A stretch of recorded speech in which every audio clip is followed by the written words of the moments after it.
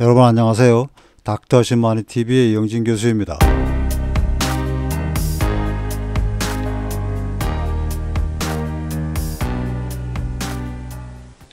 4 0대 이후에 근육과 뼈를 강화시키고 체력과 지구력을 증가시키는 약용나무 중에서 최고는 가시 오갈피입니다. 잎이 다섯 갈래로 갈라져서 오갈피라고 하고 오갈피 나무와 다른 점은 전체에 가늘고 긴 가시가 많은 점입니다. 영문으로 시베리안 진생이라고도 합니다. 보시는 것이 1월 중순 모습이었고요. 그리고 이 녀석과 같은 녀석의 봄 모습입니다.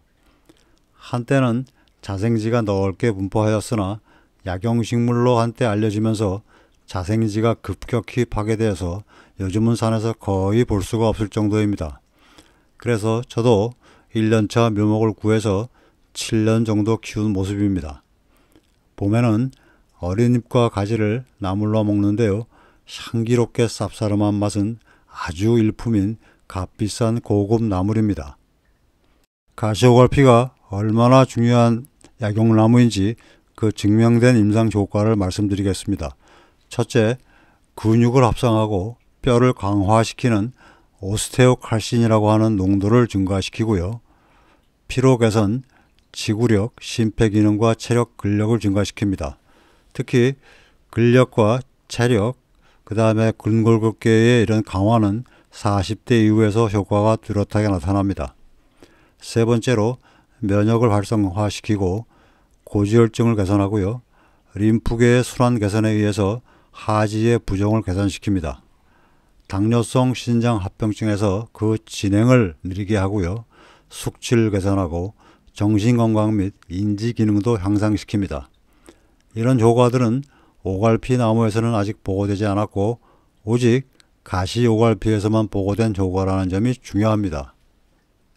이 가시 오갈피를 약용하려면 건조된 뿌리 껍질이 가장 좋고요. 수피도 사용을 합니다. 비교적 안전한 하루 용량은 5에서 10g이고요. 생수 1리터에 100분 정도 달여서 수시로 차처럼 잡수시면 됩니다. 12월에서 2월경에 묵은 줄기를 한 마디 정도만 남기고 전부 잘라주는 전지 작업을 해주면요.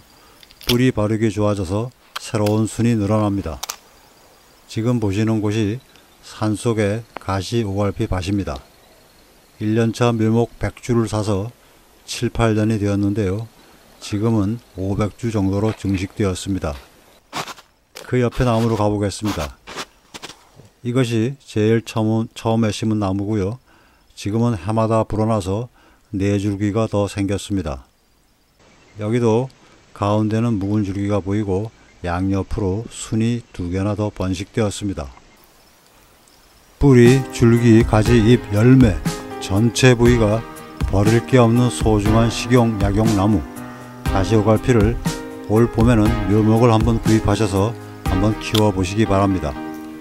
이 가시오갈피는 생육 조건이 까다로워서요.